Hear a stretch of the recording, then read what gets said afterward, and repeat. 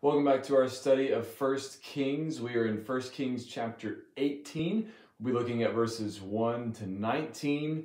And this passage is going to set up for us the famous showdown between Elijah and the prophets of Baal that's coming later in chapter 18. But before we get there, we need this setup. We need this scene or set of scenes that tell us about the coming end of the drought and the coming confrontation between Elijah the prophet and Ahab the king of Israel. So look with me as we look at 1 Kings chapter 18 verses 1 to 19. It says, After many days, the word of the Lord came to Elijah in the third year, saying, Go, show yourself to Ahab, and I will send rain upon the earth. So Elijah went to show himself to Ahab. Now the famine was severe in Samaria, and Ahab called Obadiah, who was over the household. Now Obadiah feared the Lord greatly, and when Jezebel cut off the prophets of the Lord, Obadiah took a hundred prophets and hid them by fifties in a cave, and fed them with bread and water. And Ahab said to Obadiah, Go through the land to all the springs of water and to all the valleys. Perhaps we may find grass and save the horses and mules alive and not lose some of the animals. So they divided the land between them to pass through it. Ahab went in one direction by himself, and Obadiah went in another direction by himself. So this chapter begins with God telling Elijah to go meet with Ahab and that he is going to bring an end to the drought. Remember earlier, God told Elijah to tell Ahab about the drought that was coming, and this drought was coming as a result of Ahab's sin, his idolatry. God had warned his people back in Deuteronomy 28 that if they forsook his covenant, if they did not keep his laws, then there were a series of curses that would come upon them, and one of them was the curse of drought. And Ahab was a notorious idolater married to a notorious idolater. And as a result of Ahab's sin, God has brought a drought upon the land. In fact, at this point, that drought appears uh, has likely lasted three years. That's probably what uh, is being referred to when it says uh, the word of the Lord came to Elijah in the third year. That's probably the third year of the drought. So God spoke to Elijah, told him to go reveal himself to Ahab, and he said, And I will send rain upon the earth. So he's going to bring an end to this drought. Now, uh, Ahab, what is Ahab doing at this point? Well, Ahab is trying to find water for the animals. The drought is so severe that the king is concerned that some of his own animals are going to die. And if anybody in the land has water, it's going to be the king, right? So the king is concerned that some of his animals are going to die. So he calls uh, Obadiah, who's over the king's household, and he says, You go one way, I'll go another way, and let's see if we can't find some water so that some of these animals will live. So, uh, verse 2, at the end of verse 2, it tells us the drought was very severe in Samaria. That's Samaria is part of the northern kingdom of Israel. Um, and so the drought has been awful. Uh, it's reached a crisis point, and Ahab is, again, concerned for the welfare of his animals, even as Elijah is about to come and meet with Ahab and bring an end to the drought. So, uh, what's going to happen when Elijah comes to meet with Ahab? Well, let's see what happens next. Verse 7. And as Obadiah was on the way, behold, Elijah met him. And Obadiah recognized him and fell on his face and said, Is it you, my lord Elijah? And he answered him, It is I. Go, tell your lord, behold, Elijah is here. And he said, How have I sinned that you would give your servant into the hand of Ahab to kill me? As the Lord your God lives, there is no nation or kingdom where my Lord has not sent to seek you. And when they would say, He is not here, he would take an oath of the kingdom or nation that they had not found you. And now you say, Go, tell your Lord, behold, Elijah is here. And as soon as I have gone from you, the Spirit of the Lord will carry you, I know not where. And so when I come and tell Ahab and he cannot find you, he will kill me, although I, your servant, have feared the Lord from my youth. Let's pause there for just a moment. So Elijah appears to Obadiah, who again is over the king's household, and Obadiah recognizes Elijah. He says, Is that you, my lord Elijah? And uh, Elijah wants Obadiah to go tell King Ahab that Elijah is here. He wants him to set up the meeting, in other words.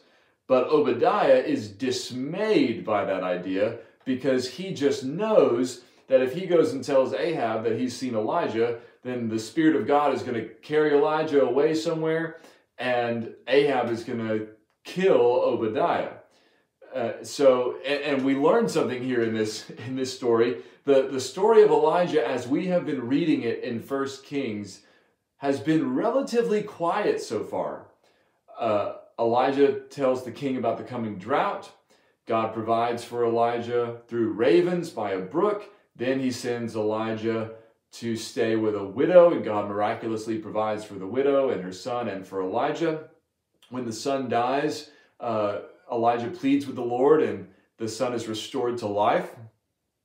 But what we didn't know is that apparently throughout that time, Ahab has been seeking Elijah all over the place, trying to find him, wondering where he is, going from nation to nation, asking them if Elijah is there, asking, asking them, calling upon them to swear an oath that he's not there if they say they have not seen him. And so there's been a hunt going on for Elijah we didn't know anything about until this point. And one of the things that that part of the story teaches us and shows us is how faithfully God has been not only providing for Elijah, as we saw in chapter 17, but also protecting Elijah, as we're now made aware in chapter 18, that God has been shielding him from King Ahab, even though we didn't realize the serious manhunt that was going on for Elijah. And, you know, one thing we could say is that's true of our lives as well, that oftentimes we don't even know all the things that God is doing for our good. We don't even know all the ways that He's protecting us right? That He is at work uh, on our behalf to do good for us, oftentimes in ways that we aren't even aware, don't even realize we need that God is working for our good. So God's been protecting Elijah, preserving Elijah, and so uh, Obadiah uh, is concerned that if he goes and tells the king that he's found Elijah, and then when he gets back, Elijah's not there, Obadiah's going to be in trouble. And notice he said at the end of verse 12, um, he says, Your servant uh, has feared the Lord from my youth. And, and then he goes on and says this He says, verse 13, Has it not been told my Lord what I did when Jezebel killed the prophets of the Lord? How I hid a hundred men of the Lord's prophets by fifties in a cave and fed them with bread and water?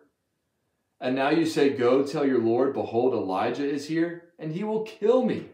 Now, here's something else we didn't know about. It was mentioned parenthetically earlier in, in this chapter, in chapter 18, um, but we don't find out about it until this chapter, and that is that Queen Jezebel, Ahab's wife, was uh, seeking to put prophets to death.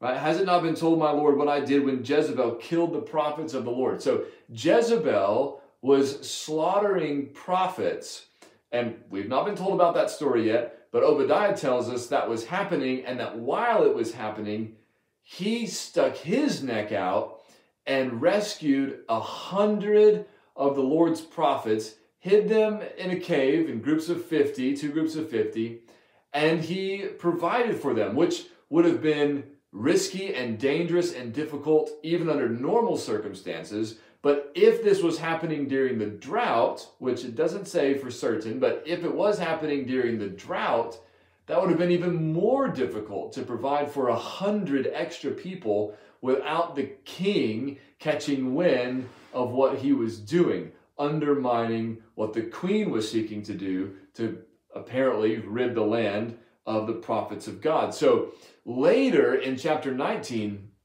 Elijah is going to you know, famously say uh, essentially, I'm the only faithful one who's left. And God is going to say, No, I have a remnant of 7,000 who have not bowed the knee to Baal. Well, it seems that in this moment, Elijah is meeting a member of that remnant, that Obadiah is a faithful servant of the Lord, that he is, he's uh, protected the Lord's prophets. He's feared the Lord from his youth, even though he's working for and serving a wicked king.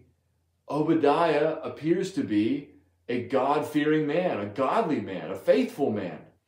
And so, one of the things that that reminds us is that we can't always tell where someone's allegiance lies by who they work for. They may be doing good, even though they are working for someone who is doing evil. So if all we knew about Obadiah was that he was over the household of Ahab, we might think, ooh, that guy's probably just as crooked as Ahab is.